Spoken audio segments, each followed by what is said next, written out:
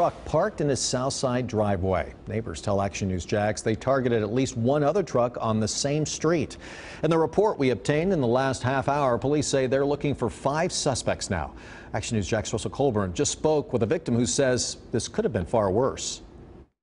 The truck was right here in the driveway like it is now. The doors were left unlocked, which the owner regrets, but thankfully the suspects were captured on those surveillance cameras.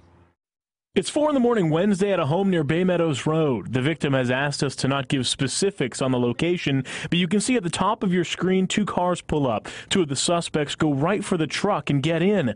A third person joins them, and a fourth tries the car on the right, but it's locked. All four end up rummaging through the truck, the whole thing lasting just more than a minute. I'd say 99% of the time it's locked. It all happened while Justin Dewey and his wife and two young daughters slept inside. Very thankful there wasn't anything in there, and um, very thankful that they didn't come in the house. Dewey says they didn't get anything of value, but this wasn't the only truck they hit. Uh, opened my, my truck door, and my center console was lifted up. Chris Miele lives right down the street. I'm like, that's weird. I didn't know why that was open. I started looking around, and like I said, garage door opener was right there, some pocket knives right there. Nothing was taken, and the back seat's filled with all my tools. So I think I got lucky.